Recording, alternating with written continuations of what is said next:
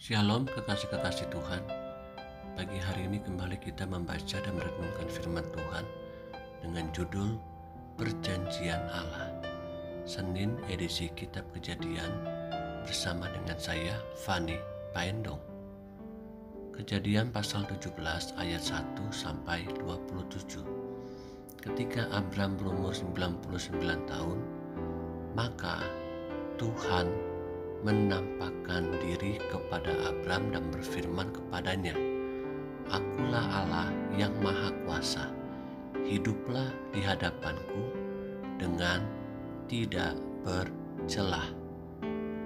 Aku akan mengadakan perjanjian antara aku dan engkau, dan aku akan membuat engkau sangat banyak. Lalu sujudlah Abram dan Allah berfirman kepadanya, Dari pihakku inilah perjanjianku dengan engkau. Engkau akan menjadi bapa sejumlah besar bangsa. Karena itu namamu bukan lagi Abram, melainkan Abraham. Karena engkau telah kutetapkan menjadi bapa sejumlah besar bangsa aku akan membuat engkau beranak cucu sangat banyak.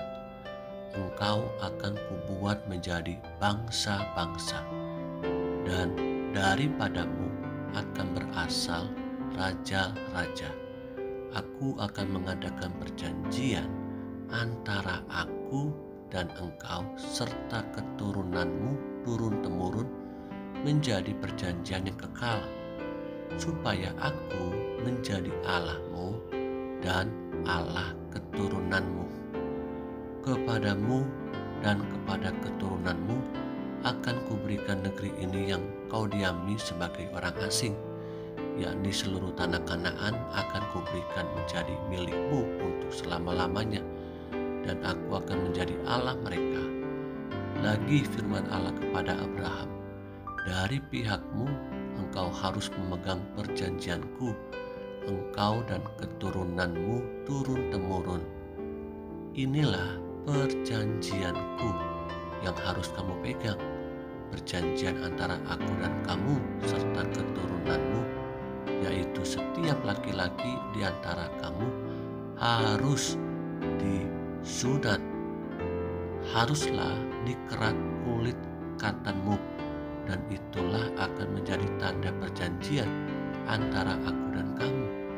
Anak yang berumur delapan hari haruslah disunat, yakni setiap laki-laki di antara kamu turun-temurun, baik yang lahir di rumahmu maupun yang dibeli dengan uang dari salah seorang asing, tetapi tidak termasuk keturunanmu. Orang yang lahir di rumahmu dan orang yang kau beli dengan uang harus disunat maka dalam daging mula perjanjianku itu menjadi perjanjian yang kekal. Dan orang yang tidak disunat, yakni laki-laki yang tidak dikerat kulit katanya, maka orang itu harus dilecapkan dari antara orang-orang sebangsanya. Ia telah mengingkari perjanjianku. Selanjutnya, Allah berfirman kepada Abraham tentang istrimu Sarai janganlah engkau menyebut dia lagi Sarai, tetapi Sarah. Itulah namanya. Aku akan memberkatinya, dan daripadanya juga aku akan memberikan kepadamu seorang anak laki-laki. Bahkan aku akan memberkatinya, sehingga ia menjadi ibu bangsa-bangsa.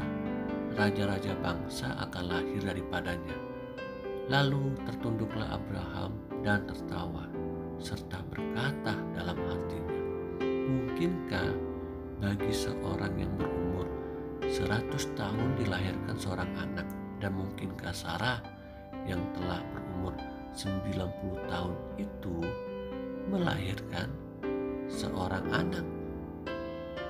Dan Abraham berkata kepada Allah, Ah sekiranya Ismail diperkenankan hidup di hadapanmu.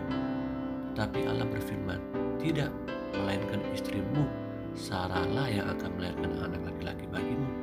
Dan engkau akan menamai dia Ishak, dan aku akan mengadakan perjanjianku dengan dia menjadi perjanjian yang kekal untuk keturunannya.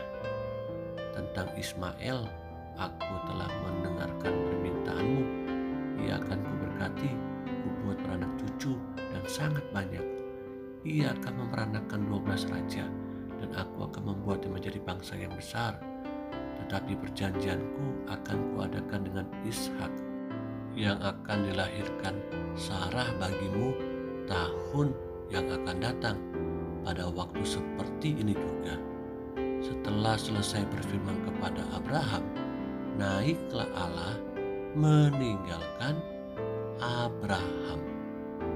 Setelah itu Abraham memanggil Ismail anaknya dan semua orang yang lahir di rumahnya, juga semua orang yang dibelinya dengan uang, yakni setiap laki-laki dari isi rumahnya Lalu ia mengerat kulit katan mereka pada hari itu juga seperti yang telah difirmankan Allah kepadanya.